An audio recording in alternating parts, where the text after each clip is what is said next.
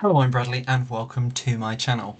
How often do you ever find yourself overwhelmed by life or your mind is just become so busy that actually it's suddenly starting to not be as efficient as what it was a couple of weeks ago or a couple of months ago? Do you find yourself getting a little bit blank-minded? Do you find your thoughts straying off to a place where actually it's making it harder for you to be able to function throughout your day? Do you know what? I've been going through some problems with my health, but this has been making things far, far worse and exacerbating my physical health and my mental well-being to the point where I've really had to slow down, calm down in life, try to switch my mind off just because of how overly busy. It's literally like a traffic a traffic jam at about five o'clock in a busy area wherever you are in the world. And it's just been like that with my mind so, so much lately where it's got to the point where it's really started to make things quite unbearable and to the point where it's been exacerbating uh, health issues and just take all that aside, it's just been exhausting. This has been going on for a couple of months and I've been thinking to myself, you know what, I need to change because number one, how stressed I am, how overwhelmed I am, and how exhausted my mind feels, even from a good night's sleep, really is starting to take a toll on me. My job is quite stressful, so sort of straight away, um, that was a little bit of an issue straight off.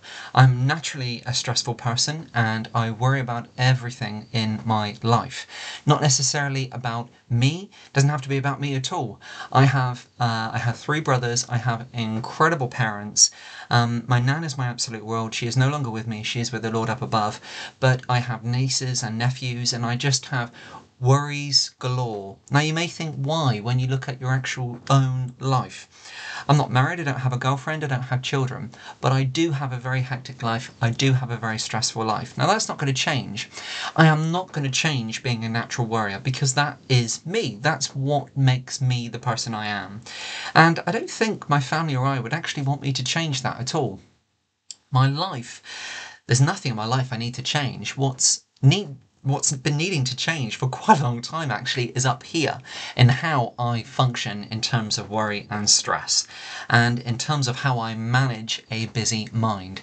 And it really did take the last couple of months, and I say couple of months, we're in June now, six months my life, to be quite honest with you, at times, there's this mirror facade where everything has been fine and running well and I'm all okay and yeah, well, for six months, I've been managing the problem for about a year, maybe 18 months before that, but the last six months, it's it's really, really ramped up.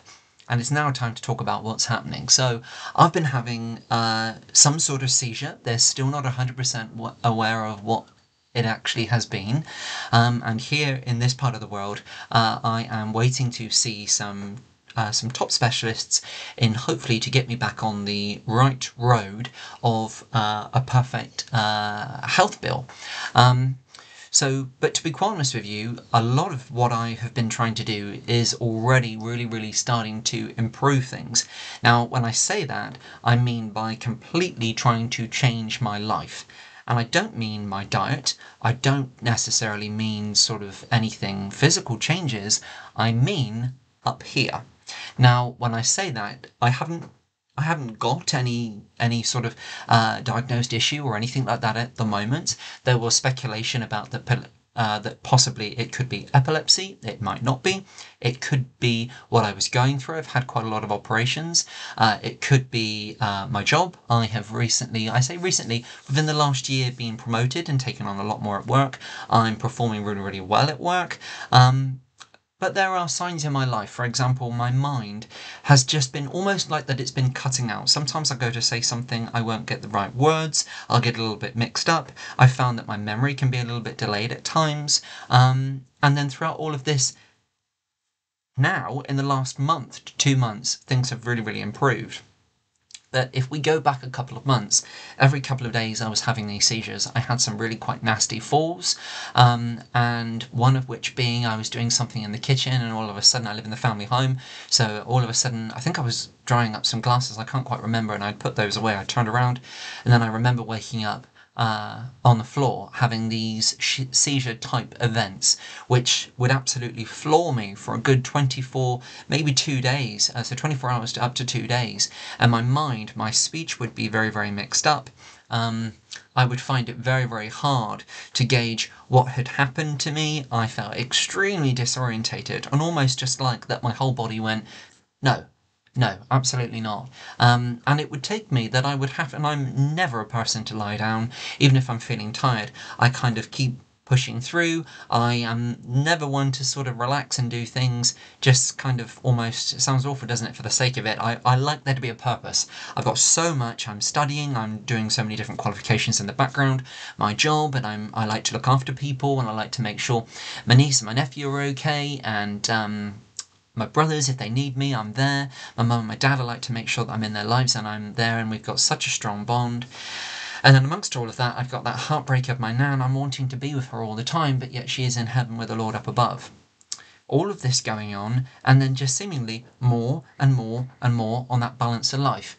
And then strangely, every couple of days, I would have these nasty seizure events. And I've had a lot of accidents from them to the point where maybe getting up to 10 weeks nearly three months ago now, um, it was suspected that I fractured my hip from falling in the kitchen. I was in a lot of pain. I pushed through all of this.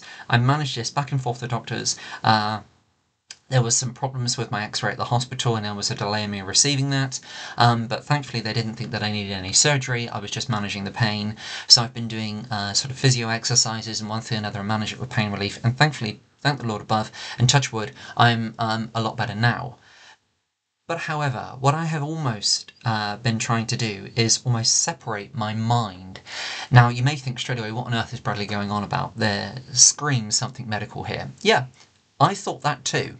Okay, but there was, and I've been in sat in A and E, accident and emergency, um, so many times from falls and seizures, and first of all arriving there with my brother or my father or my mum or my or whoever, and thinking, do you know what? And first of all, when I'm there, it's so dazed and clouded, I can't get my mind um, and my words, and I don't really remember a lot about it. Um, but it really took me when I, how long you wait in accident and emergency. I mean, our NHS in this in this country do an absolutely incredible job, but they are pushed to the brink. They really, really are. Um, but they look after me fantastically well every time I'm in there. And I've in this year, I've probably been in there four or five times. Um, and you know what? It really took the last time I was there and I was with my twin brother. And I thought, you know what? This is getting ridiculous. I want to travel. I want to go on holidays. I want to meet. Um, I, I, I want to uh, meet so many goals and aspirations in my life. I want to have uh, and meet the, a, a, girlfriend. I'd love to have a life partner. I'd love to have a wife and children and uh, and a beautiful home of my own and all of these things. I want to still move my career forward. Of course, I want to um, and how could you put it without coming across snobby and all of that horribleness? Um, I want to earn a living. I want to earn more so I can have the lovely house. Do you know what I mean? The nice things, the luxuries, and have a beautiful wife and have beautiful children and all of that, and grandchildren in the end. I, I want all of that. Do you know what I mean? Who doesn't in this life? And I and I want that. And I'm sat there thinking, do you know, at the moment, I'm not even able to leave the house. Why? Yes, there's medical reasons still going on in the background. I've got, unfortunately, quite a, an extensive list of all different things which I manage on a daily basis, but nothing neurological which is giving me these issues. I mean, I've collapsed in the bathroom. This is how embarrassing it had got. I had collapsed in the bathroom getting out of the shower. Yes, absolutely. You don't wear clothes in the bathroom. Collapsed in the bathroom. I bashed my arm horrifically, done my knee horrifically. I've had uh, in 20, 21, I had my groin reconstructed from hernia operations which went wrong. I dislodged my groin. I was in a lot of pain when I come around. And there I am, that one of my family members had thrown a towel over me and found me on the floor. And I'd woke up, and I still don't remember a lot about it. This is what my family have told me. All of these things, so why on earth is this happening? I'm awaiting cardio, uh, cardiology appointments for my heart and everything, and a heart monitor and all of that. But do you know what? I really did think, right, Bradley, every single day you wake up, as soon as you wake up in the morning, uh, around between 5, 5.30, you worry, you stress about the day ahead. You worry, you stress. If mum and dad are okay. If you're worrying and stressing about historical things with my nan. You're worrying and stressing about your own life. You're worrying and stressing about the pressures. I haven't achieved this yet. I'm not married yet. I've not met a girlfriend yet. I've not started a family yet. I've not done this. I've not done that. My mind is constantly at work and work in finance. That that forecast schedule is coming up. That meeting's coming up. This is happening. That's happening. And you know what? There's an element of being conscientious, but there's an element where you're starting to obsess. And I am naturally an obsessive person. I worry about everything. Everything's got to be pristine and perfect. So therefore, I'm worrying, what does such and such think of me? Have I done that right? Could I have done more? Then I go back and I do more. And this is how busy things had got. And you know what? I'm there trying to help. For example, a brother who has um, my twin brother, who my brother's my world. Um, I've got one who I help in who mental health issues. We've had quite a history there. Um, it's really, really difficult, um, but I'm there always supporting. I've got another brother who. Um, it, at this time has been going through problems with different things in his life. Um, my mum, and my dad take on all of this and my absolute world, so I try and support them. And it's just, I try and be almost like the putty between everybody. And there, my parents are seeing me almost falling apart, let's put it this way, but up here. And then I'm starting to have conversation. I'm starting to think, you know what? I don't remember that happening. Um, I'm struggling with my words. It's getting better. But what I've started to do, and literally I started looking online and doing some research, thinking, you know? I've got to change. I've got to get a grasp of this. And you know, it's amazing how much I've been obsessing and how much I've been stressing over things, which, to be quite honest with you, I've only got to look in my own life. And I looked after my nan, who is my absolute world. Um, who had a very long battle with Alzheimer's disease, and my mum and I were there always. And she's my my my mum is my world, my dad is my world, and my nan is my world. In my heart, in my head, I've got three parents at my parent table. So my nan not being with me, it's hard. And you know what? The way I've seen her go out of this world, um, very horrifically. Um, she had a very long life, but very horrifically. I always said to myself when I've seen that that and when I was with her that actually do you know what? Anything in this world what we worry about it just does not matter because to the most incredible beautiful lady ever all the stressing in the world and all the wonderful things all the incredible things my nanny done this this happened. So it's like the way I'm looking at it then I was looking at it then was like probably not going to stress not going to do it anymore. It's just not worth it there's so many more precious, incredible things in this world to concentrate and to put all that energy into. Do you know, I know it, but yet I wasn't doing it. So, having said that, all of this is going on my life and it manifests. And the last six months, it really had manifested to a huge issue. And maybe there's something psychological, um, not psychological, neurological, something with my heart. I'm not sure yet. We're still dealing with that. But something was happening and I was making it 10 times worse by all of this stress and all of this going on. So now what I really do try to do, and I came across, um, I came across uh, a few different sort of self-help sort of guides and clips and things. Mum bought me some incredible books and one thing and another of cognitive behavioural therapy, um, and I've been really trying to help my uh, help myself with things. And I found some incredible clips on uh, YouTube, and I've been really trying to concentrate on separating the worries and the stress. And you know what? Right, when I get these thoughts now about you must do that, you must do this, Bradley, you haven't done that yet, you haven't done this. Sometimes now I can really start to realize that it's not necessarily me. Here is me in the middle, and I know where I want my life to go, and I've got this plan and everything, what I've done. But yet, beside it, both sides, squashing inwards, is these obsessions and this almost OCD trait, and this almost like this this striving, this aspiration of perfection, which is suffocating me and causing me all this exacerbation to my health, my well-being, my my mental health, my physical health, and it's almost like that I can barely breathe. So now when these thoughts and this comes on, it's almost like straight away what I tell myself is say for example I get a thought, have you done this? You need to do that, have you done it better? Could you have said that? Is and maybe, maybe not.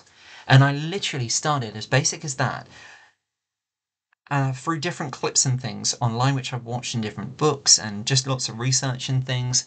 And um, I'm going to see if the clip, one of the clips which I really loved and what I can help, if I could recommend them on the end of this clip, I will do. Please do not quote me on that. But he is incredible. I can't remember his name, but he is incredible. Um, And I think he's had these problems as well. And I found it on YouTube and it's just absolutely helping me tenfold.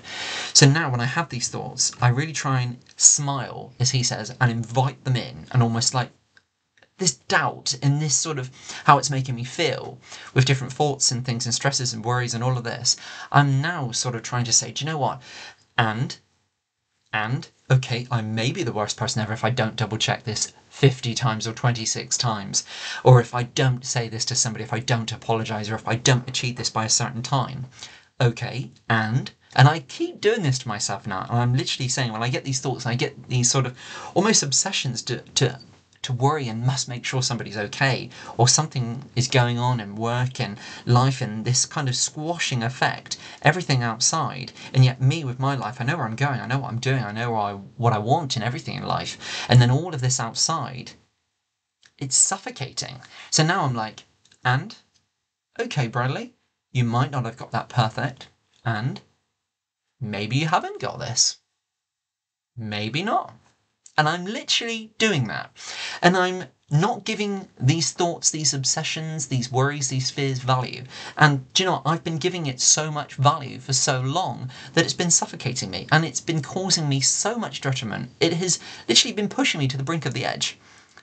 And with all these health issues, and bear in mind when I was giving all those things value, every now and again, these seizures, these whatever events they're called, I was just having so many issues. And then to the point where I was having falls in, I mean, my hip, for example, the pain I went through with that, and just all of what's been going on. And now I'm literally not giving it value. And, do you know, the amount of times I said it in my head, and, and now, maybe, maybe not and I'm greeting these things with a smile. And it's almost just like for months and months and months, and probably I don't know how long, it's been squashing me into this one. So here I am in the middle, all of this outside, these thoughts, these obsessions, whatever they are, fears, worries. I've been classing all of this as one. But when actually I'm here, all of that I need to shove off, concentrate on me in the middle, because I know where I'm going, I know what I want. And you know? I'm starting to be able to breathe. And I've been doing this probably for about four, six weeks, and it's getting better all the time of not giving it value. So, my friends, when it all gets too much, have a look at what you're doing to yourself up here, okay? And breathe. And do not give it value. And as I say, if I can find those clips and if I can attach them on here, I absolutely will do because they have really, really just altered and changed my thought process and my life. Um, and I'm not having these seizure type events nowhere near. I'm still having moments, I'm still having problems and heart palpitations and things like that.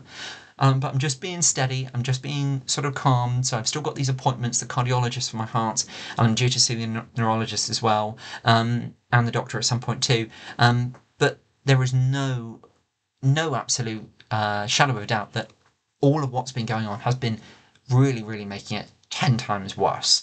Um, so yeah, don't give that value. And if you're getting to a point where, oh my goodness, it's just all getting too much in life, what on earth can I do just stop, slow down, and I would have never ever looked. I don't know quite what. That visit sat in A&E thinking, I want so much to happen in my life. I want to travel. I I want uh, I want to I meet the wife of my dreams, the lady of my dreams. I want to have a beautiful. Let's let's not beat around the bush. I want that beautiful romance. I want that love. I want that click. That that what makes your heart skip. What makes you feel all fuzzy inside. I want children. I want a family. I want to grow old and have grandchildren and all those things. And at the moment, I would have only have had to have fell with a seizure, banged my head. And you know what? I, I dread to think what would have happened and what I would have left behind with my, my parents, my family, and everything. It's crazy. It really, really is. So now I'm really concentrating on not giving any of that value. And remember, for so long I've been walking around with all of this, all of what we talked about. Here's me, all of what we talked about. Okay, there's one, but it's not. All of that, I shouldn't be. I shouldn't have been giving that value. Here I am, me, in the middle. All of that rubbish, most of that's probably not going to happen. Do you know, I'm sitting here thinking, oh my god, oh my god, you shouldn't be saying that. But actually, I'm not giving it value. And maybe it will, maybe it won't. But right now, I'm okay. I'm not giving it value.